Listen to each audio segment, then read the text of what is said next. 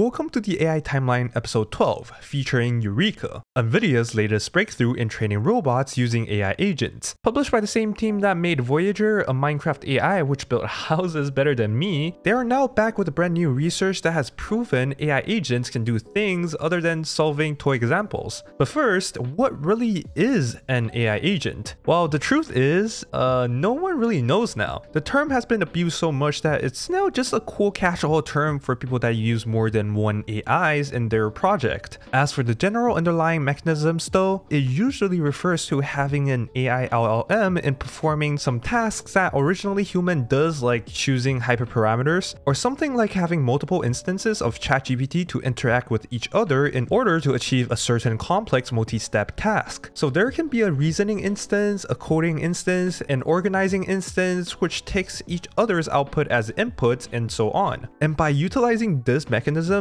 they were able to get the AI agents to perform tasks that are too complex for a typical reinforcement learning agent to do, like getting diamond tools or building a house in Minecraft. Eureka then took a similar method into the next level, applying it to train fine motor skills that require high dexterity, like spinning a pen for a robot. Have you seen this clip of a robot hand solving a Rubik's Cube? While it can certainly solve it without any problems, the hand would always look really clunky when handling the cube. These fine-grained robot motion problems stood still in progress because the amount of small and complex motions needed, aka dexterity, is heavily required to produce something smooth and natural like a human hand. And manually writing tons of reward functions to accurately tell the robot if they're doing the motions correctly or not is kind of impossible back in the pre-ChatGPT era. But things have changed. This is what they can do thanks to GPT-4. Amazing, isn't it? Well, of course, the Eureka is performing the task in a simulation, which might be an unfair comparison, but the method that it used and the result it has produced is definitely something way more natural than what OpenAI has back in 2019. How Eureka has done this is that it takes in a starter environment source code and a task description as a zero-shot context for GPT-4 to generate some reward functions, then iterates it between reward sampling, reward evaluation, and reward reflection to infinitely improve its reward functions and outputs. So instead of humans writing the reward functions, these AI agents become the ones that performs these hyper optimizations. This pretty much solved the fine-grained motion tasks that were previously not feasible by manual reward engineering. And it can achieve human-level performance on reward design too, or even better, 83% of the time. On top of that, all these optimizations were done through words alone.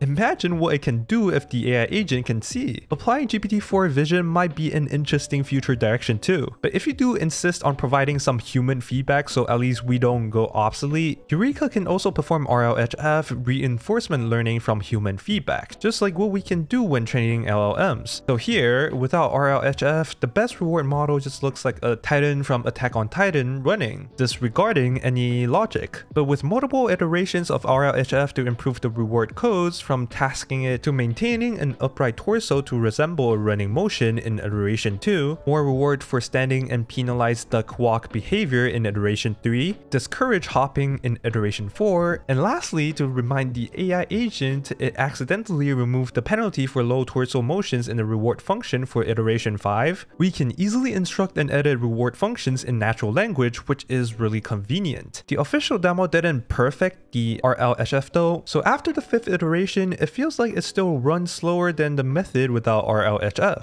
But with this research, natural motions can be massively replicated thanks to AI agents being capable of generating and perfecting reward functions with barely any human inputs, so that robot hands can soon move as smoothly as me segueing into my outro. Yeah, thank you for watching. A big shout out to Andrew Lescelius, Alex J, Chris LeDoux, Alex Maurice, Miguilim, Deagan, FiFaŁ, Daddy Wen, and many others that support me through Patreon or YouTube.